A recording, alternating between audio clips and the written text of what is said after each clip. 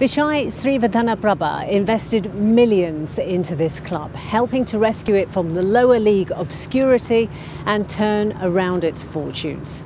But unlike other football club owners, he was immensely popular with the fans.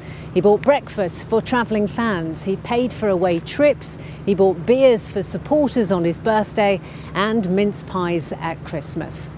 Peter Behan has been looking at the life and the legacy of a man who was widely loved at this club and beyond.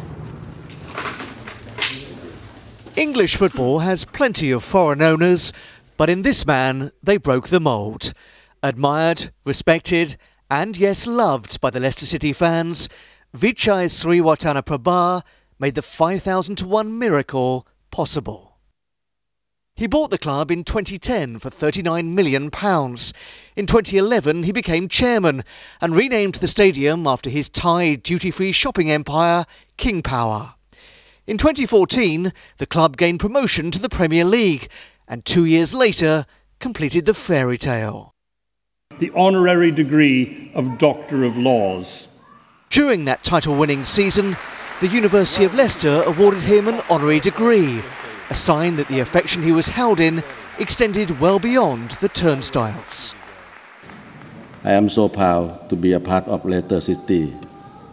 I promise to do all my best for our Leicester, both to the university, the football club. Thank you very much. The relationship Vichai had with the Foxes fans was special celebrating his birthday with free beer and cupcakes all round.